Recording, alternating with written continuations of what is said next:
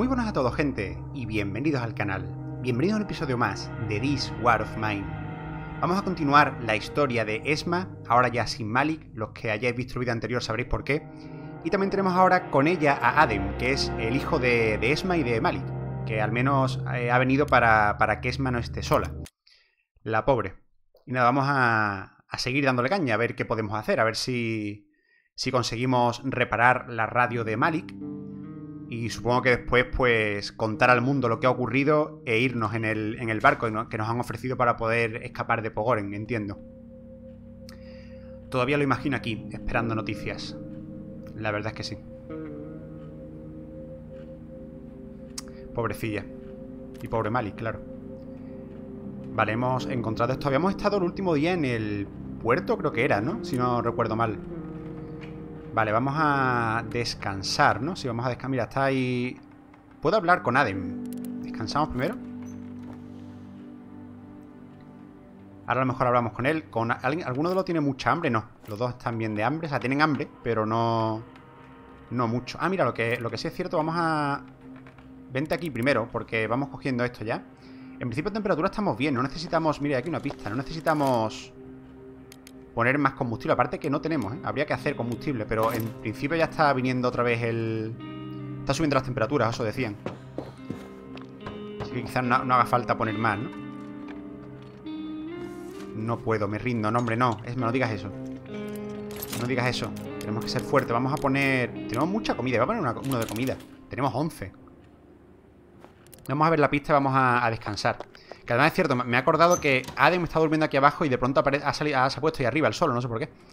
La radio está gravemente dañada. Necesitamos piezas especiales de radio si queremos arreglarla, sí. Iremos... Iremos esta noche a la discoteca. Que, como dijeron los soldados habían ido allí.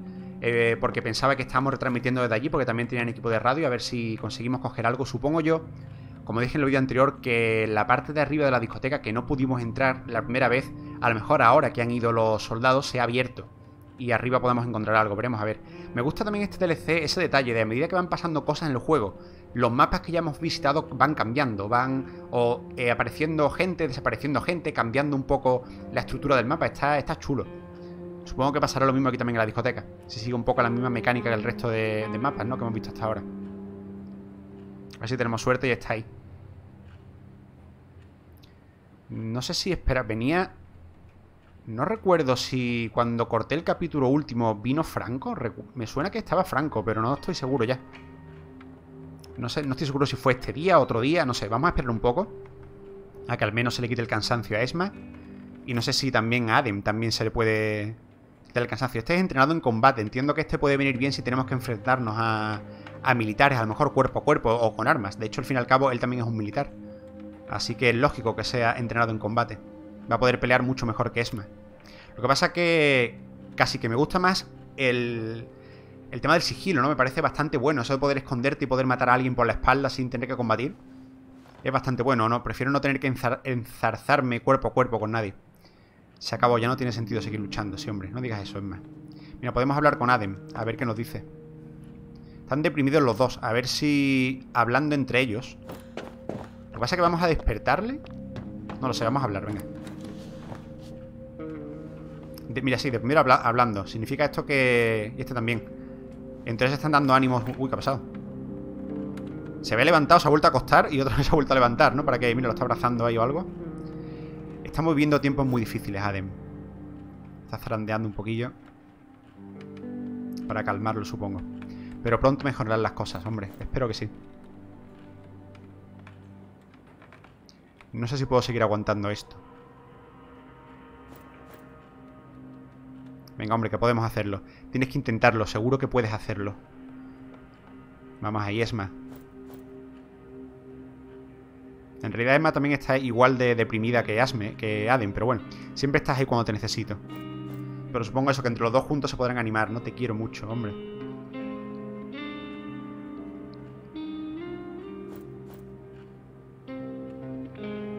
¿Ya has terminado de hablar? ¿Siguen todavía... ¿Siguen todavía hablando o qué? Quiero acostar a... Ya parece que han dejado de hablar porque sale como el símbolo de... Adem sale el símbolo de hablar con ella. Pero sigue deprimido hablando. A ver, ¿le puedo dar? No, no sé si se ha quedado esto buqueado. Ver, voy a moverme. No, con Aden no puedo, no puedo hacer nada, ¿eh? Y con Esma, sí, con Esma, sí. Vale, pues Aden, vete a la cama otra vez. Y... Me ha salido el símbolo de... A ver, con Aden me ha salido dos símbolos distintos para hablar con Esma. Este... ¿A cuál le he dado antes? A ver, voy a, voy a darle a este ahora. No sé si era el mismo. Mamá, estoy contigo, no te preocupes, no te abandonaré. Tienes que descansar, yo me ocuparé de todo. Bueno, tú estás peor que ella en realidad, ¿eh? Tenemos que ser fuertes. Encontrar el modo de reparar la radio. Podríamos continuar con el trabajo de papá. Quiero contraatacar. Hombre, pero también por otro, en otro lado también lo he estado pensando. Si ahora nos ponemos a difundir los mensajes, ¿no volverán a por nosotros? Mamá cree que debemos abandonarlo todo y escapar de la ciudad en barco. Sé que ahora está destrozada, pero tenemos que encontrar las piezas para reparar la radio. Tenemos que continuar con lo que papá empezó. Hombre, estoy de acuerdo contigo. Y además es una buena forma de de rememorar a Malik, ¿no? Pero me da un poco también de miedo eso. Si ahora volvemos a poner en marcha la radio, ¿no sabrán que estamos aquí y volverán de nuevo por nosotros? No quiero seguir con la radio, quiero escapar de la ciudad y olvidarlo todo. Eh, ¿Por qué te has sentado en el suelo? No, hombre, no, ponte aquí. Y Esma... No sé, ¿quieres fumarte un cigarrillo? No quedan cigarrillos. No quedan cigarrillos, pues alguno. Tenemos para hacer, ¿no? Sí. Haz ocho cigarrillos, venga.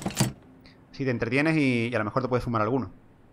Aparte que Adam también era fumador, si no recuerdo mal, ¿no? Sí. Vamos a hacer unos poquitos. Ya digo, yo creo que ya el tema de... Bueno, espérate, hace 8 grados, es que lo estoy pensando, ¿eh? Malik, amor mío, no quiero vivir sin ti. ¿Debería poner algo de combustible? La cosa es que no tengo. Vente para acá un momento. Bueno, hazlo tú. Hazlo tú. Ahora te vuelves a, acostar. Vamos a quemar algo de madera porque todavía sigue haciendo frío en realidad. ¿eh? Hacen falta al menos cuatro. Voy a poner cuatro al menos solamente. Y ahora que lo ponga Esma, a ver si da tiempo a que lo ponga antes de que pase el día. Supongo que sí, ¿no?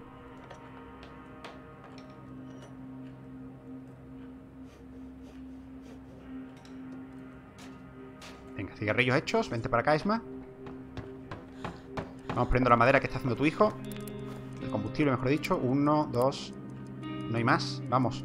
Vamos, Adem. Trabajo en equipo.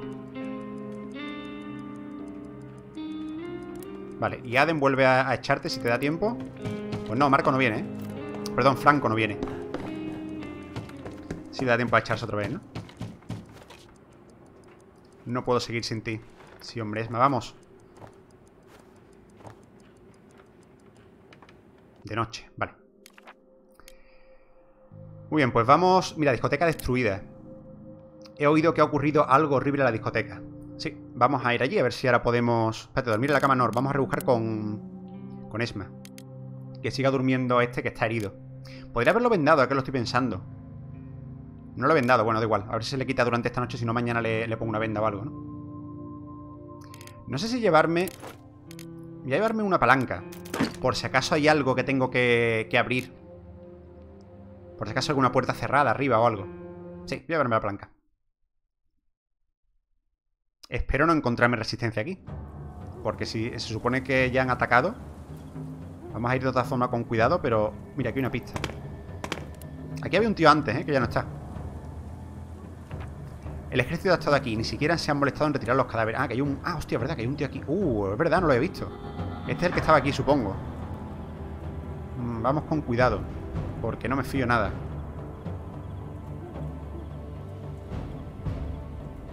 Vale, de momento nada por aquí. Aquí hay alguien, ¿eh? Pero este no es... No es un militar, es un civil. Otro cadáver, aquí, sí. Y aquí hay otro. Joder. Ha hecho una, una buena matanza aquí, ¿eh? Ayúdame, por favor, estoy herido. Cadáver de un civil desarmado. Alguien entró por la puerta y le pegó un tiro. Joder. Estoy herido y no puedo moverme. ¿Qué ha pasado aquí? Los soldados irrumpieron y empezaron a disparar a todo el mundo. Luego destrozaron el equipo de sonido. Pues si se la han cargado ya, creía que alguien de los que de los que se encontraban aquí tenían algo, que ver con tus retransmisiones. Hostia, nos, nos lo va a echar en cara, ¿no? Están todos muertos y por tu culpa, efectivamente. Ayúdame al menos, por favor. Este fue el que... Estoy malherido. Este fue el que nos echó en cara la otra vez que estábamos haciendo las la retransmisiones. No recuerdo si era él. No tengo claro cómo llegar ahí. Ah, vale, porque le he dado a andar a lo mejor. Ah, mira, podemos comerciar con él. Necesito vendajes. Pues no puedo. Como no sea que encuentre alguno por aquí. Pues nada. Ay, espérate, no he mirado. Hostias, me ha asustado porque no había mirado. ¿eh? Vale, pero no parece que haya nadie. Aquí abajo se ve algo no hay una manita ahí. Vale, vamos a ver si podemos acceder a la parte de arriba, que no podíamos la otra vez. Vale, por aquí se puede ir.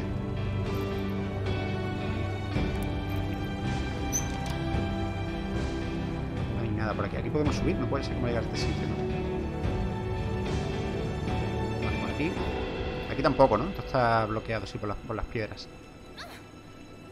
Y aquí diría que tampoco... No, aquí no, tampoco podemos pasar, ¿eh? Está cerrado. Pensaba que iba a estar abierto esto. Mm. Bueno, voy a mirar lo que hay abajo. Mira, aquí hay otra pista, de luego. Otro cadáver, supongo, ¿no? No hay nadie, no hay nadie. Ay, Dios, toda esta gente murió porque el ejército... La ejecución fue rápida y brutal. Porque el ejército quería acabar con nuestras retransmisiones, sí. Hombre, en cierto modo, sí. Pero claro, ¿Sois culpables vosotros? ¿O en realidad es el ejército el que... Bueno, supongo que es el ejército, ¿no? ¿Qué tenemos aquí? ¡Eh! ¿Esto, ¿No es esto lo que necesitábamos? ¿Piezas de radio? Sí, piezas radio para reparar el transistor Hostia, pues lo hemos encontrado aquí Pensaba yo que iban a estar arriba de alguna forma Que íbamos a tener que entrar en la parte de arriba Equipo de sonido Ah, claro, claro, bueno, claro, se ha encargado el equipo de sonido Quizá podamos usar esas piezas para reparar la radio, vale Se ha encargado lo que había aquí en los altavoces estos y con las piezas que tenemos podemos reparar la nuestra. Pues mira, interesante. Interesante. No las he encontrado justo donde yo pensaba, que pensaba que iban a estar por aquí, pero bueno, al menos en el mapa era el correcto, no me he equivocado. Hay un texto en la pared. Mantened la boca cerrada si queréis seguir con vida. Quieren asustarnos. Esto es sangre, ¿verdad? Creo que no le sirvió mucho mantener la boca cerrada. Pero entonces sigo con la cosa. ¿Cómo llego arriba? Porque todo esto se tiene que poder explorar. Hay algo que no termino de entender. ¿Por aquí se puede subir? No tengo claro cómo llegar aquí. aquí tampoco, ¿no? Tiene que haber alguna forma de entrar aquí, ¿no? No termino de entender cómo. Vente para acá, Esma. Aquí está el tío. No tengo vendajes para intercambiarte. Te podría dar. Podría venir mañana si quieres y te los doy. Eh, aquí, no, sé, ¿cómo? ¿puedo saltar? Ah, no, este balcón ya ha ido. Ah, este balcón, ¿puedo saltar? ¿Puedo venir saltar ese balcón desde ahí? Porque he visto primero este, pero claro, aquí ya hemos estado. Pero en este no. No sé si... No, no voy a poder subirme ahí, ¿verdad? A ver, vamos a intentarlo.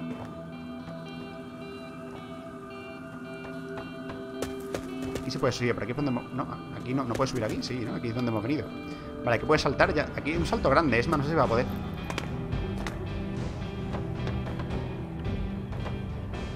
Sube aquí, Bueno, ah, espérate, por aquí Ah, espérate, ah, que es por ahí directamente Ah, pues sí que, sí que se sube, vale, vale, entonces por aquí y era por aquí todo el rato. O sea, podría haber entrado, entiendo, la otra vez, ¿no? Sí, aquí cosillas. De hecho, voy a intentar abrir la puerta de abajo quizás para poder volver otro día más fácilmente. No queda mucho tiempo, ¿eh? Aquí, aquí para esconderse. Siempre me da mal rollo eso de que haya cosas para esconderse. ¿Significa que hay peligro? Vamos a ir poquito a poco por si acaso. Aunque espérate porque tampoco podemos ir muy poquito a poco, ¿eh?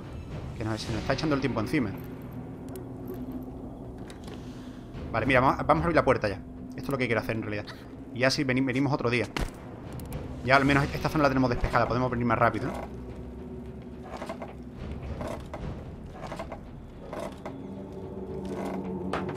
Puerta abierta Miramos también aquí, ya que estamos Aquí también hay equipo de sonido, ¿eh? Pues, algo así lo que pensaba yo, donde pensaba yo a lo mejor que, podríamos encontrar cosas, pero no, aquí no hay nada. Vale, vámonos. Vamos hacia la salida. Todavía queda un poco de tiempo, pero bueno, ya al menos tenemos esto abierto. Puedo venir otro día y le puedo traer también las vendas a... ¿Dónde va? Ah, ¿va a salir por ahí? ¿Por ahí más rápido?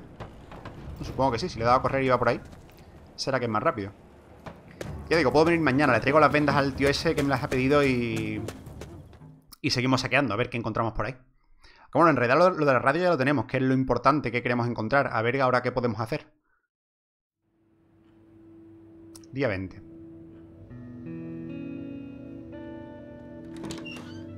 ¿Cómo estamos de temperatura? Yo le traeré noticias a Malik. ¿Y ahora qué me queda? Hombre, te queda tu hijo y tu propia vida, Esma.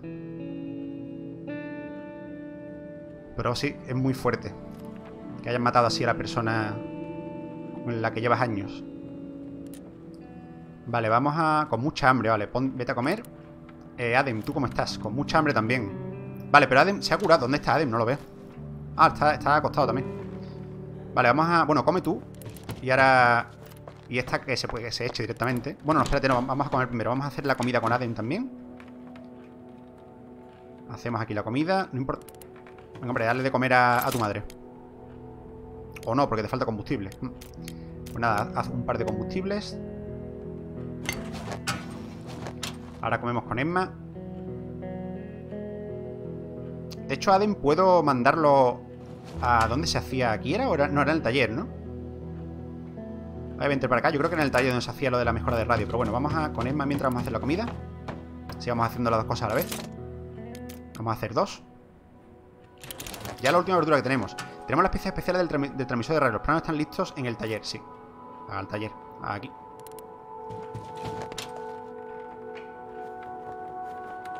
Esma termina. Vale, ponte a comer. Eh, transmisor arreglado. Lo tenemos todo. De hecho, tenemos... Joder, tenemos de sobra, ¿eh? Tenemos, joder, muchísimas piezas. 79 de, componentes. Y no hubiera pillado estos componentes en el juego base. Joder. Pues nada, fabricamos. Y Esma está comiendo. Vale, ahora se va a echar. A descansar. Mira, ha, ha salido también la ratilla, ¿eh? A la mierda, ¿qué te pasa? Está deprimido, supongo, ¿no? Cada día es peor. Venga, hombre, que vamos a poder arreglar el radio, que es lo que tú querías, Adem. Para continuar la labor de tu padre, de Malik. Me da miedo eso, ¿eh? Me da miedo que ahora retransmitamos algo y los soldados vuelvan. La verdad que es un poco arriesgado lo que estamos haciendo, ¿no? Vale, vamos a coger esto primero para que vaya la ratilla. Este ha, salido en un solo día, no tiene sentido. Dice, le pasa un poco como, como Adam, se llamaba de hecho, ¿no? El del DLC primero. Que está tan deprimido que le cuesta hacer cualquier cosa. Vamos a poner otra de esto, sí. Vamos a... Tenemos, no sé si tenemos algo que retransmitir. Bueno, podemos retransmitirlo de... Vamos a hablar con ella primero. A ver si nos dice algo. Si está contenta de que hayamos arreglado la radio. ¿Dónde vas? ¿Por qué te has levantado?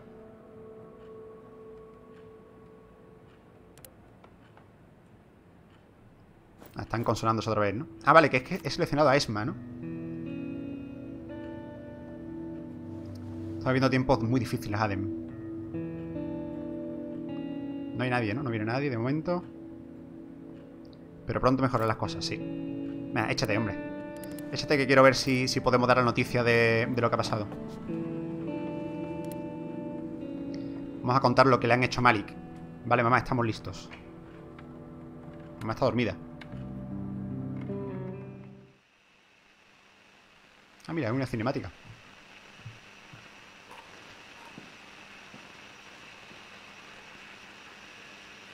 Se ajusta los cascos Adem. Soy Adem, el hijo de Malik. Retomo la retransmisión de mi padre después de, que los soldados, de que los soldados lo asesinaran. Con dos cojones, sí señor. Fue ejecutado sin miramientos por compartir la verdad con el pueblo. Pero su voz no será silenciada. Nosotros continuaremos con su labor. Pero decir... No, para decir lo que hay que decir. Porque somos vuestra voz. La voz de Pogoren.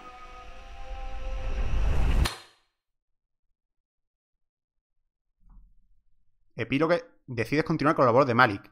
Me han dado un logro que pone epílogue, epílogue Heir. La guerra acaba poco tiempo después. Ah, ya hemos terminado.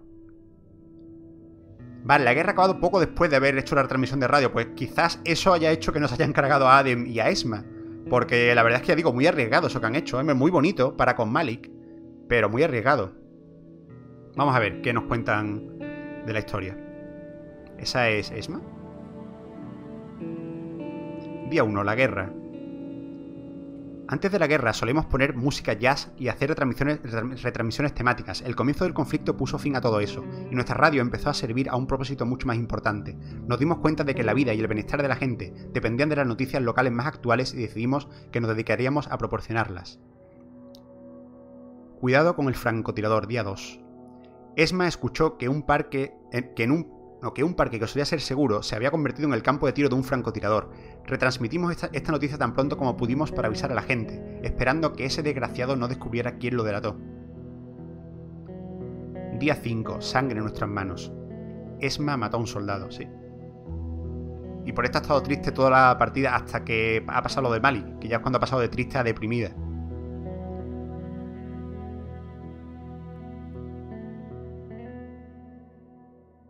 Esto, esto es muy lento, ¿verdad? Me suena que en el otro DLC iba más rápido, ¿no? Día 6. Combustible en la gasolinera. Hemos informado a la gente de que aún quedaba combustible en el sótano de la gasolinera. El combustible es un recurso muy valioso en una ciudad asediada. Es cierto, la gasolinera no volvimos a ir, me gustaría también haber ido. Por ver si se había desbloqueado una cosa que estaba cerrada allí. No lo sé. Día 6. El camión de suministros. Esma se topó con un soldado y con un camión averiado lleno de suministros. Arriesgándose a enfurecer a los soldados, pasó la información a la gente, ya que el asedio había privado a Pogoren de las provisiones más fundamentales.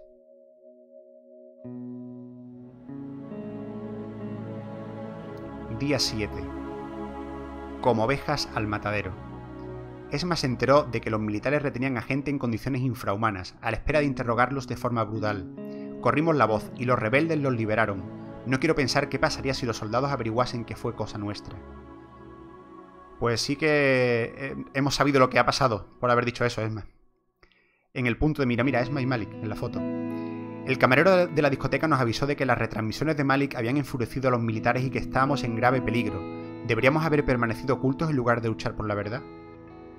Hombre, si hubiéramos hecho eso, posiblemente Malik hubiera seguido vivo. No sé qué hubiera pasado. No sé si el juego se podría haber hecho con Malik sobreviviendo, la verdad. Supongo que sin pasar la información crítica, a lo mejor sí, ¿no? Día 10, sin miedo. Davor nos pidió que avisáramos por la radio a los rebeldes del ataque militar a uno de sus escondites más importantes. Lo hicimos a pesar del miedo a las represalias de los militares. Día 12. Traición descubierta. Descubrimos que Novak, quien solía ser amigo nuestro, delataba tanto a bienistas como a sus simpatizantes ante el escuadrón de la muerte de los grazníes. Los rebeldes los capturaron cuando corrimos la voz, pero ¿nos protegerán si los soldados buscan venganza? Tampoco hemos vuelto a la casa de Novak, supongo que podríamos ya también saquearla completamente, si no, estaba él. Día 14. El hombre atrapado. Nos topamos con un hombre que estaba atrapado en un sótano derrumbado. No pudimos ayudarlo, pero utilizamos la radio para preguntar si alguien podía acudir en su ayuda. Y sí, lo sacaron de. Esto es lo de la cervecería. Día 16. La peligrosa verdad. Las fuerzas del gobierno han bombardeado a civiles inocentes que hacían cola para conseguir agua en la cervecería. Intentamos llamar la atención de la comunidad internacional sobre sus crímenes y sobre la situación crítica que sufría Pogoren, incluso a sabiendas de que los soldados grazníes nos odiarían por ello. Día 16. Ejecución sumaria. Nuestra peor pesadilla se ha hecho realidad. Un grupo de soldados irrumpió en nuestra casa de noche. Esos monstruos han destruido nuestra radio y han ejecutado a Malik, nuestro querido Malik. La vida sin él ya no tendrá sentido. Muy duro.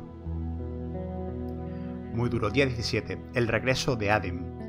Adem desertó del ejército y volvió a casa para avisarnos de que los militares tenían intención de acabar con nuestra estación de radio, pero ya era demasiado tarde. Si hubiese llegado un día antes,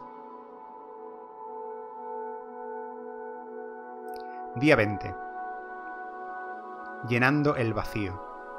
Conseguimos reparar la radio y decidimos continuar retransmitiendo noticias útiles y divulgando la verdad sobre las atrocidades cometidas por los soldados en Pogoren. Malik murió defendiendo la verdad, y eso era lo mínimo que podíamos hacer para honrar su memoria. Pues sí, la verdad es que sí. Al final no, nos hemos ido en el barco, pensé que iban a, reparar la radio, retransmitir el mensaje de lo, lo que habían hecho los soldados con Malik y se iban a pirar, pero no, al parecer se han quedado, retransmitiendo el resto de cosas. Adem. Después de la guerra, Adem fue absuelto por desertar del ejército. Se quedó en Pogoren para cuidar de Esma y ayudarla a llevar la radio, pero la atormentaba enormemente el saber que no se pudo reconciliar con su padre y que volvió demasiado tarde para poder salvarlo. Si pudiese volver atrás en el tiempo. Esma. La muerte de Malik le destrozó el corazón a Esma, pero encontró algo de consuelo al continuar con su hijo con la labor que su marido había empezado. Cuando la guerra por fin acabó, su estación de radio siguió siendo popular, ya que mucha gente recordaba cómo les habían ayudado durante el asedio. Malik. Los militares del gobierno, enfurecidos por las retransmisiones de Malik que denunciaban sus crímenes de guerra, mandaron un escuadrón de la muerte a la puerta de su casa. Fue ejecutado por conspiración con los rebeldes, pero los habitantes de Pogol lo recordarán como alguien que les trajo esperanza y luchó por la verdad.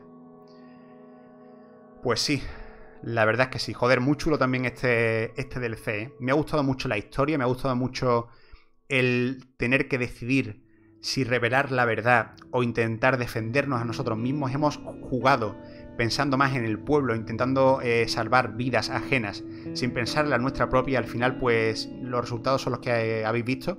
Al final, Malik ha dado su vida, en cierto modo, por salvar y por decir la verdad, que es lo que él quería hacer. Ya digo, no sé si diciendo medias verdades o, sin que Esma le llegase a contar las historias reales a Malik, puede ser que terminásemos el juego con Malik vivo, no lo sé. No sé si más adelante jugaré otra vez para ver esa, esa otra posibilidad, yendo justo por todo lo contrario, intentando no decir nada, a ver qué ocurre. Pero bueno, la verdad es que me gusta cómo ha ido la historia, me gusta cómo ha ido evolucionando, cómo han ido, ya digo, metiéndote en la trama, al final también cómo, cómo ha vuelto también Aden para que Esma no estuviera sola. Me ha gustado también mucho, ¿eh? está también a un muy buen nivel este DLC. No sé si quizás el primero me haya gustado más con el tema de, Adam y la hija, pero me ha parecido bastante interesante ¿eh? el tema también este de, todas las historias, las noticias y cómo han metido también el locutor de radio que estábamos escuchando, entiendo, cuando jugamos el juego base, eh, como un personaje jugable. Me parece también bastante interesante eso.